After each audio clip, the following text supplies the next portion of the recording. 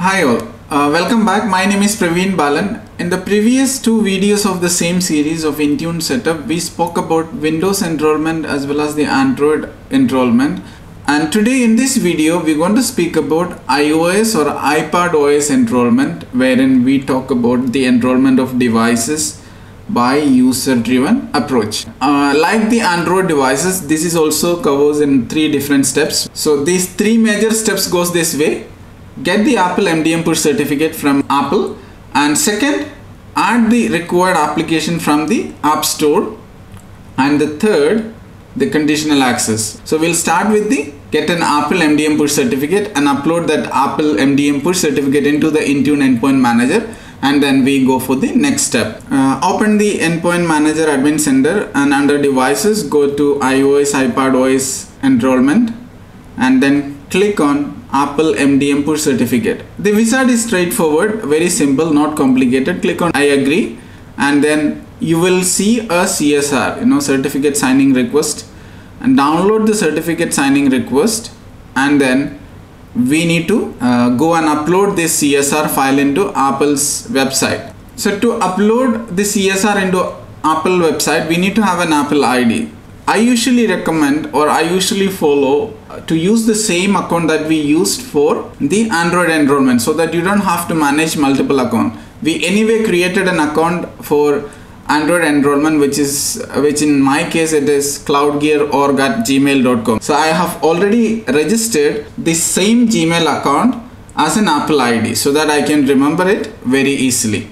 So now let's get to the MDM push certificate uh, portal and then click on get started, agree on it and move forward. You know, here is where we upload the CSR that we downloaded from Intune admin center or the endpoint manager admin center. Upload the CSR and that finishes creation of push certificate. The MDM push certificate is now ready for download. Download the push certificate and go back to the endpoint manager admin center. Again, if you go to the manage section, you can see that this certificate is only valid for one year. So you need to renew the certificate every year in order to ensure that the, the functionality of Apple enrollment or the iOS iPad OS enrollment functions without any problem. You just need to upload the downloaded PEM certificate, MDM push certificate into Intune that actually completes the first step.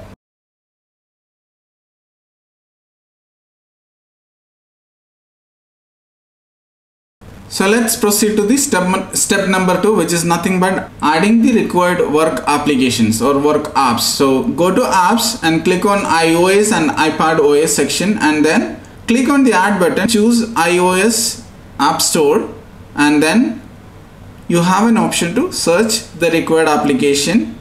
And in the in in this case i'm only adding outlook just to show you how to add. I can add any number of applications. Choose the required os and let us also set it to show it under the featured application. And which devices are supported? In this case I have chosen both uh, iOS and iPad OS category is an optional thing if you want to set it. And now wherein we have to target it to a set of users. I'm going to use the same users group that we created during the previous video.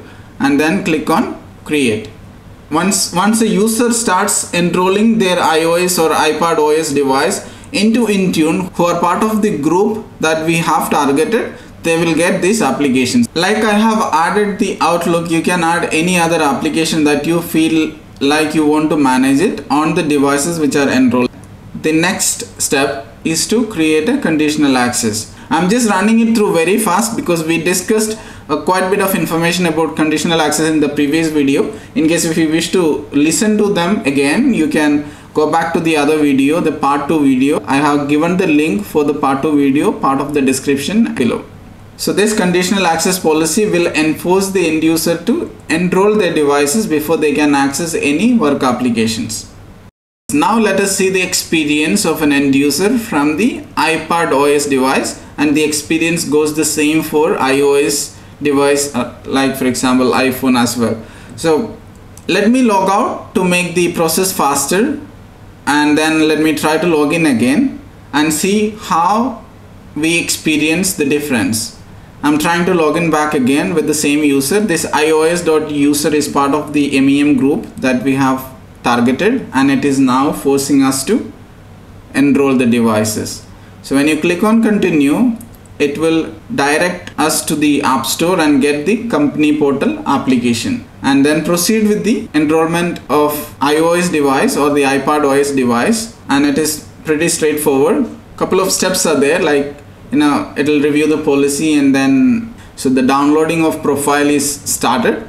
And then you'll have to install the profile which is downloaded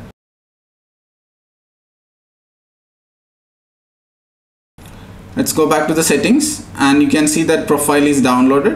Install it and then once it is done come back to the company portal application and click on continue. And now it will check the required settings if you have created any compliance policy or anything. Now we haven't enforced much of the settings. It just taken us into the uh, company portal application where we can see the work application that we published the process of enrolling an iOS or iPad OS devices is pretty straightforward. You will also start receiving the application which are required for your work profile. Now when you open the Teams again, now we are able to open it because it's already registered and check the compliance requirement according to the company policies. Now let's get back to the endpoint manager admin center and see if this device which is enrolled now in the portal or not it usually takes about 10 to 15 minutes. You have to wait and once you see it you can see most of the information about the devices. So now this was the third video in the same series of Intune setup for different device enrollment Windows Android and iOS iPad we covered. We have to cover the Mac OS did you like the video? If then do not forget to subscribe the channel so that you get notified on the similar videos in the future and in case if you have any queries don't hesitate to write it as a comment.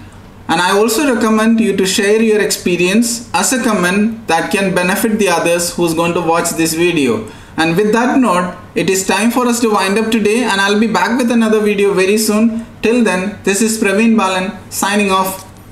Bye